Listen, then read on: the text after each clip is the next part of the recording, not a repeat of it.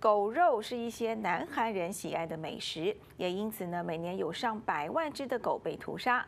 不过，最近有一批幸运的南韩的狗儿被解救，抵达美国，他们将在这里寻找温暖的家，展开新生活。